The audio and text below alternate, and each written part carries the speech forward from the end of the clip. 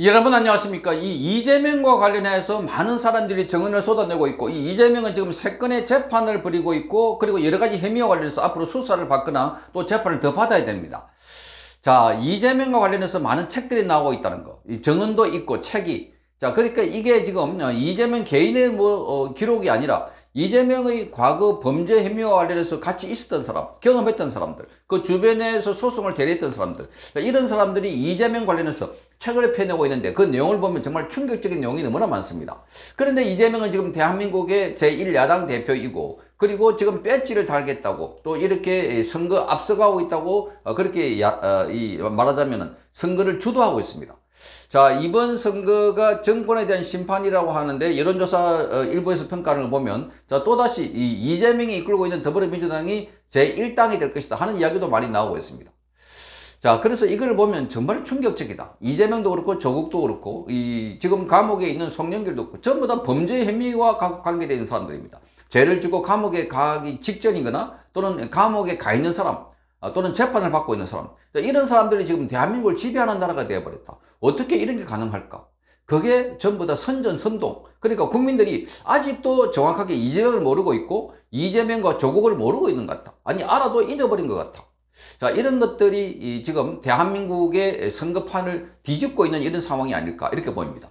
오늘 아침에 조선일보의 박정훈 칼럼에는 왜 유동규는 목숨을 걸고 법정에 선다고 했는가 자, 이런 칼럼을 적었습니다.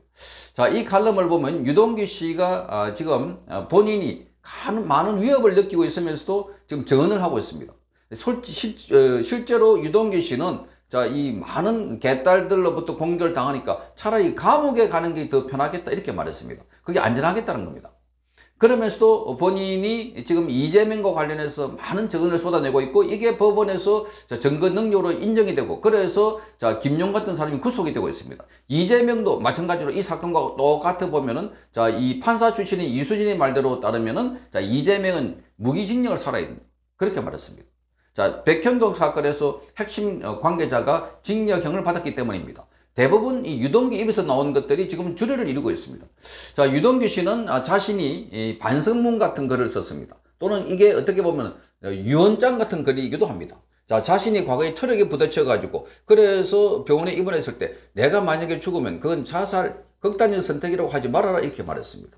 자, 그때 나온 책이 바로 당신들의 댄서 댄서 이 책인데 여기에 유동규 씨가 겪었던 이재명 그 척근들 이야기 고스란히 적혀 있습니다. 그 이걸 보면 이 대장동 사건이 왜 일어나고 있는지 이재명이 어떤 캐릭터인지 그 얼마나 어마무시한 네트워크 있는지를 잘 드러내는 대목인데 그런데 아직도 많은 국민들이 쏟고 있는 것입니다.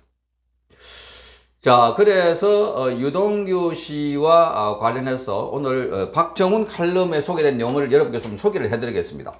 자, 그러니까 지금 평범한 증인들에게는 거대 야당 대표 이재명을 마주 쓴다는 게 얼마나 위협적인 걸 잘 모를 겁니다. 그러니까 이재명 주변에 있는 사람이 다섯 사람이나 극단적인 선택을 했거나 또는 의무사를 했고 자, 그 주변에 있는 어, 조직들이 어마무시하다. 경기 동부연합과 국제 마피아다. 뭐 이런 사람들과 관계되어 있다고 하니까 그리고 이재명은 그 냉혈한 같은 캐릭터. 자, 자기 자신에 대해서 많은 비판을 쏟아진데도 전혀 개의치 않고 오히려 사법 방해를 하고 있다. 자, 판사들이 쩔쩔매고 있는 상황입니다.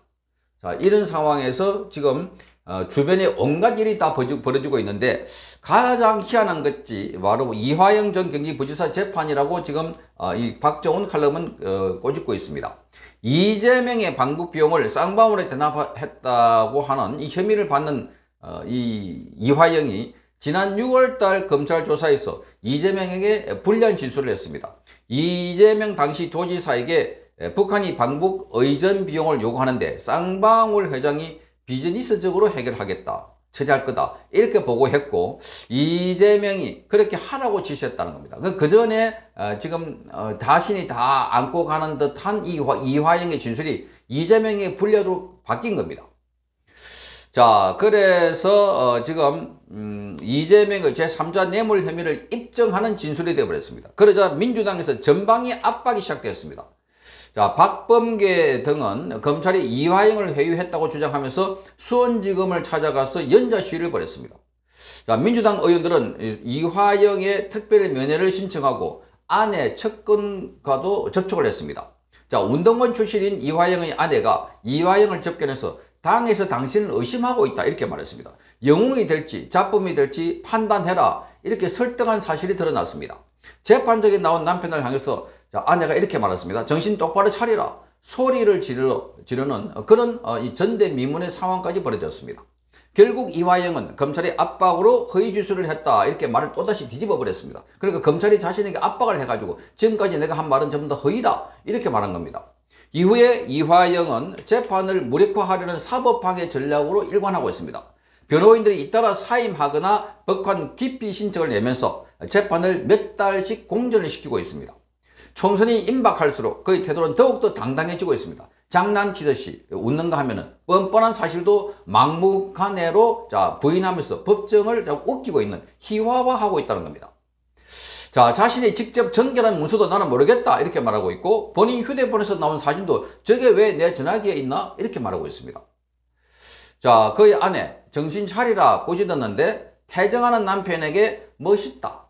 엄지손가락을 지켜들 정도입니다. 그러니까 자신의 남편이 법관과 법정 안에서 이렇게 뒤집어 놓은 발언을 하니까 잘했어, 멋있어 이렇게 말하고 있는 이런 상황들 이게 정상일까? 가정적으로 봐도 그렇고 우리 사회적으로 봐도 그렇고 너무나 희한한 일들이 벌어지고 있다고 합니다. 자, 그래서 지금 아까 말씀드린 것처럼 어, 이 유동규 전 성남도시개발공사 본부장은 이재명 지지자들에게 큰 위협을 당하고 있다. 이렇게 본인이 실토를 했습니다. 법원에 나오면 개딸들이 몰려들어서 막말을 퍼붓고 시비 거는 일이 예사로 벌어지고 있습니다. 아마 이 유동규 연락처를 알아가지고 공격하는 문자도 보내지 않을까 그렇게 추측이 되고 있습니다. 며칠 전 재판에서는 민주당 상징색인 파란색 외투 차림의 방청객이 자, 이 그 방청을 하고 있다가 유동규를 향해서 고함을 치다가 퇴정을 당했습니다. 자, 유동규는 판사에게 이렇게 말했습니다. 차라리 감옥에 가 있는 게 편할 수가 있다. 감옥에 가 있는 게. 이재명에게 불리한 진술을 하는 것은 목숨을 걸고 하는 것이다. 이렇게 말했습니다. 목숨을 걸고 하는 것이다. 자, 그래서 이 목숨을 걸고 한다는 의미에 대해서는 그는 이재명 개인이 아닌 거대 야당과 싸우는 것 같아. 이렇게 답했습니다. 언제라도 테러 당할 수 있다고 생각한다면서 엄청난 심리적 중압감을 느낀다고 말했습니다. 자, 이거 보면은 어, 지금 이 이재명 주변에 있는 사람들 대부분 그렇게 느꼈고 또 그렇게 주변에 있는 사람들이 극단적인 선택을 한 것 봐도 알 수가 있다. 유동규는 아까 말씀드린 당신들의 댄스 댄스 그 책에서도 자 이재명은 자 무기로 하는 게 아니라고 합니다. 말, 측근을 통해서 특히 변호사를 보내 가지고 자이 어마무시한 말을 통해서 압박을 하고 있다고 합니다. 자 그러니까 그거 전부 다 당신 책임이야. 당신이 큰일 났다. 이렇게 변호사가 이야기를 하니까 그 당사자들이 자 심리적 중압감을 견디지 못해서 극단적인 선택을 한 것 아닐까 이렇게 말을 하고 있는 상황입니다. 자 유동규도 어, 지난 연말에 트럭 추돌 사고를 당한 뒤에 자, 입원한 사진을 SNS에 올렸습니다. 나는 절대 자살하지 않는다 이렇게 썼습니다. 자기가 죽더라도 스스로의 의지가 아님을 미리 밝혀준다는 겁니다. 자, 또 다른 대장동 핵심인 남욱 변호사도 어디서 어, 칼이 날아올지 모른다. 자, 이들이 모두 느끼는 두려움은 현실로 존재하는 실제적 공포라는 겁니다. 그래서 유동기 씨가 쓴 책은 그야말로 본인이 지금 이 반성문 같은 것도 있고 하지만 이게 유언이다. 만약에 내게 무슨 일이 일어나면 여기 있는 건다 사실이다. 이렇게 지금 적고 있는 것 아닐까. 자, 이재명은 자신에게 불리한 증인이 법정에 나오면 변호인 대신에 마이크를 잡고 직접 신문합니다.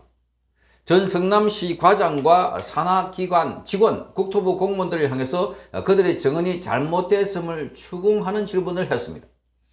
자, 평범한 사람들에게는 이렇게 거대 야당 대표에게 맞선다는 것 자체가 엄청난 공포입니다. 더군다나 이재명 같은 사람.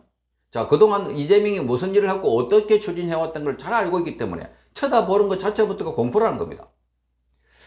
자, 그래서 이재명 위정 혐의와 관련해서 지금 공범으로 어, 재판을 받고 있는 전 성남시장 수행비서는 이재명과 마주 보는 것이 두렵다면서 차단막을 가린 채 차단막을 쳐달라고 해서 그래서 정언을 했습니다.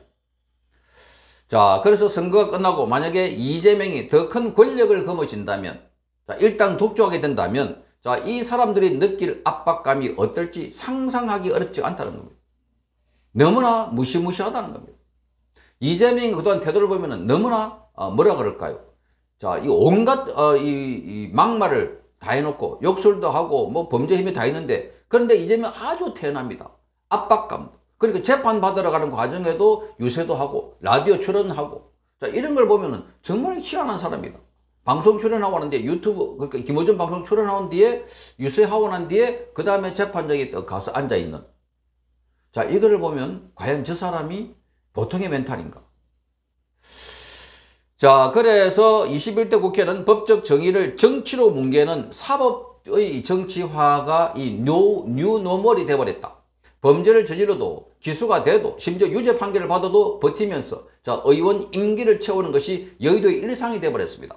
황운하 같은 사람은 3년형을 받고도 또 금배지를 달겠다면서 당을 옮겨가지고 당선 안정권의 순번을 올렸습니다.